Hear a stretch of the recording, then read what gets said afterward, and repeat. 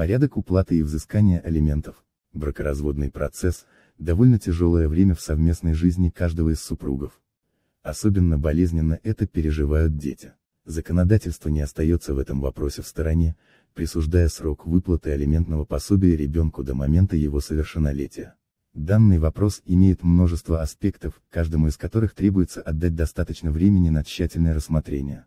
Алименты – один из камней преткновения при разводе. Порядок выплаты алиментов. Порядок уплаты и взыскания алиментов. Алименты взыскиваются преимущественно с отца, добровольно или в принудительном порядке в случае отказа исполнения финансовых обязанностей касательно несовершеннолетнего ребенка. Если имеются предпосылки, мать имеет право подать исковое заявление. Судебная практика различает следующие основания, которые позволяют потребовать взыскивать алименты. Отсутствие соглашения выплачивать мирным путем. Это является собой договор, который заключается между обоими родителями в письменном виде с указанием согласия отца на помесячную уплату алиментов. Сумма или фиксируется, или является процентом от дохода алиментчика. Невозможность дойти до компромисса без вмешательства третьей стороны, которую представляют судебные органы. Согласно законодательству, подавать прошение на то, что алименты будут платиться, может лишь определенный перечень лиц. Так, это может быть родитель, с которым остается ребенок, законный представитель, который заменяет родителя, например, опекун, приемный, родитель или попечитель, представитель учреждения, где проживает ребенок, прокурор и т. Д. При появлении оснований выплачивать алименты через суд, подается соответствующий иск. Подача происходит согласно месту жительства истца или ответчика. Порядок взыскания алиментов включает в себя следующие этапы предоставление в суд искового заявления и сопутствующих документов, возбуждение дела, рассмотрение дела, к списку прилагаемой документации относятся. Паспорт, копия свидетельства о браке, копия свидетельства о рождении, копия иска, предоставляемая ответчику, справка с места жительства, подразумевающая возложение содержания ребенка на маму, справка о доходах с места работы ответчика. Важно, могут быть взысканы выплаты за истекший период задним числом, но лишь при условии предоставления истцом доказательств об уклонении ответчика от платы в ответ на прошение. Максимальный срок получения таких взысканий – 3 года. Существуют два порядка обращения. Первый, приказной, подразумевает обращение в суд с целью получения судебного приказа. Данный способ является наиболее простым и быстрым, дабы получить законно причитающиеся денежные выплаты, так как заявитель не участвует в судебных прениях. Продолжительность такого процесса составляет около пяти дней, после чего ответчик получает документ с целью уплаты алиментов в натуральной форме. Приказной порядок возможен в случае достоверной осведомленности о месте проживания ответчика, при отсутствии отсутствия спора об оплатах. Между бывшими супругами или когда нет необходимости привлекать к нему третьих лиц. Особенностью является возможность оспаривания данного решения ответчиком, судебный приказ отменяется в случае подачи протеста ответчиком в течение 10 дней. В таком случае истец может снова обратиться в суд, но уже с иском. Исковый порядок применяется преимущественно в спорных случаях, к примеру в вопросах отцовства, родительских прав проживания дитя, способа и размеров платежей и т. Д. Данный способ подразумевает участие обеих сторон. Суд рассматривает иск, изучает доказательства, слушает показания сторон, после чего принимает решение о регулярности, объеме и способах перечисления алиментных взысканий. Основываясь на решении суда, предоставляется исполнительный лист. Как оформляется исковое заявление? Существуют установленные гражданско-процессуальным законодательством нормы составления искового заявления, статья 131 ГПК РФ. Несоответствие иска данным нормам может повлечь за собой неприятное последствие, возврат или оставление иска без движения. Итак, в исковом заявлении должны содержаться следующие сведения. Название мирового суда, в который подается иск данные об истце и ответчике, ФИО, адрес проживания, место работы, контактные данные. Данные о детях, ФИО, дата рождения, адрес проживания, название, документы исковое заявление о взыскании алиментов на содержание несовершеннолетнего ребенка, описание обстоятельств, отказ отца или матери от выполнения обязанности по содержанию сына или дочери, нарушение прав ребенка, доказательства описанных обстоятельств, Ссылка на нормы семейного, гражданского и гражданско-процессуального законодательства. Исковые требования о взыскании с родителя. Алиментов можно указать желаемый порядок расчета алиментов, в твердой сумме или в процентах от заработка способ перечисления денежных Средств, регулярность выплат, перечень приложений, дата и подпись истца, образец заявления, сроки обращения в судебные инстанции, сроки выплаты алиментов. Подать заявление на выплачивание алиментов можно во время всего периода, законодательно отведенного для этого, а именно до того как наступит совершеннолетие ребенка. Важно, необходимо помнить, что суд присуждает выплаты с момента предоставления заявления, но не после обретения на них прав, что могло наступить ранее. Исключительные случаи позволяют потребовать порядок выплат за прошедшее время, но не более трех лет. Суд может вынести вердикт в пользу истца, если по ходу судебного разбирательства может обнаружиться, что истец мог самостоятельно предпринимать попытки получения денежных сумм, причитающихся ребенку, а ответчик уклонялся от взыскания от того, что дивиденды будут платиться.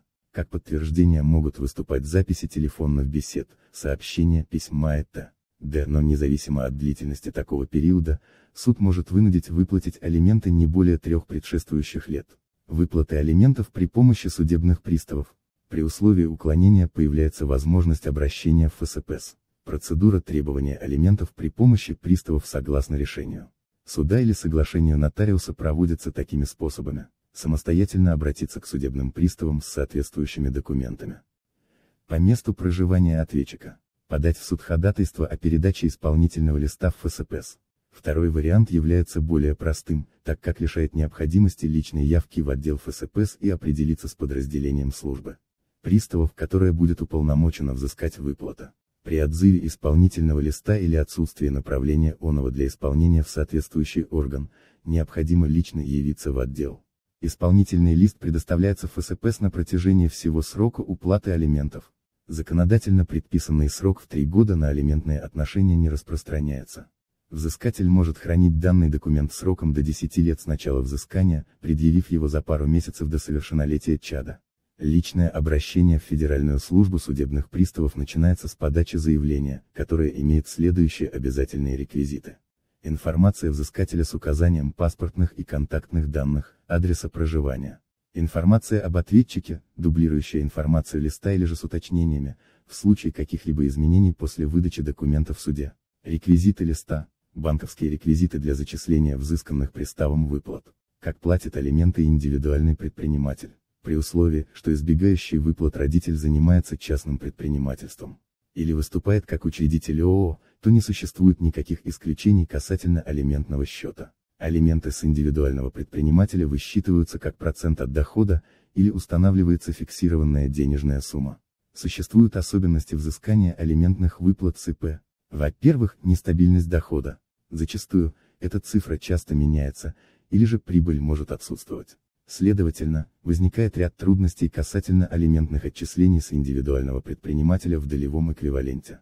Во-вторых, на предпринимателя возлагается ответственность за правильность величины выплат. Кроме того, он также контролирует, дабы расчеты были верны, это играет большую роль в образовании алиментных долгов и пополнении списка должников. Меньше всего затруднений возникает, когда устанавливается твердый денежный счет. Затруднение может вызвать определение части от ежемесячного дохода предпринимателя. Порядок взыскания алиментных отчислений с ИП не имеет никаких особенностей по сравнению с лицами, имеющих другой доход. Доли от прибыли предписаны в статьях 81 и 83 Семейного кодекса России. В долях дохода, на одного 25%, на двоих 33%, на троих или более 50%. Фиксированная сумма, устанавливается судьей может индексироваться относительно прожиточного минимума. Смешанно процент и твердая сумма, накладывается если ответчик работает и стабильно, и имеет нестабильные источники дохода. Нужно ли платить алименты с продажи квартиры, с наследства, алименты с выигрыша в лотерею? Согласно определению Конституционного суда, номер 122 от 17 января 2012 года, которое подразумевает взыскание алиментных выплат лишь из тех договоров гражданского характера, которые подразумевают деятельность экономического или трудового характера с целью получения прибыли. Если же был заключен договор, к примеру, покупки-продажи движимого, автомобилей, каких-либо других машин или недвижимого имущества, жилье получено материальные ценности в наследство, то алименты с того, что предстоит покупать, не взимаются. Задолженность по алиментам. Задолженность по данному обязательству является, как правило, довольно распространенным явлением. Она бывает как преднамеренная, т. Е. предусматривает вину плательщика и непреднамеренное, которое ее отрицает. Если долг возник по последней причине, то величина алиментного пособия может быть по вердикту суда снижена или ответчик может освобождать от уплат. При доказательстве вины может наступить административное или даже уголовное наказание.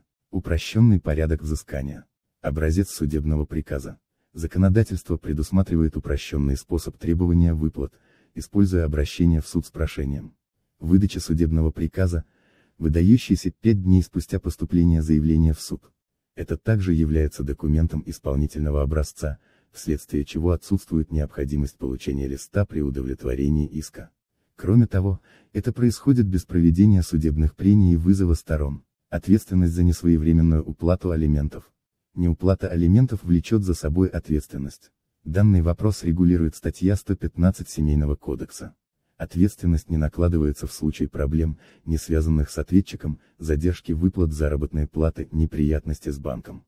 Согласно федеральному закону об исполнительном производстве, за ненадлежащее выполнение требований подобных документов грозит штраф в размере 100 заработных плат. При задержке выплат, присужденных судом, за каждый день просрочки предусмотрена неустойка, расчет которой происходит следующим образом. Сумму задержанных взысканий умножают на 0,5% и полученное число на сумму просроченных дней. Неустойку прибавляют к задолженности и получают общую сумму долга. Данная задолженность присуждается судом. Помимо этого, можно потребовать возмещения убытков, которые были понесены вследствие неуплаты алиментов, долги по займу, который был взят из-за нехватки денег, необходимость продать имущество с молотка и т.д. Вопрос начисления алиментов является довольно сложным с юридической точки зрения, так как имеет множество нюансов. Наилучшим выходом будет его совместное полюбовное решение, а также сознательность в вопросе осуществления выплат.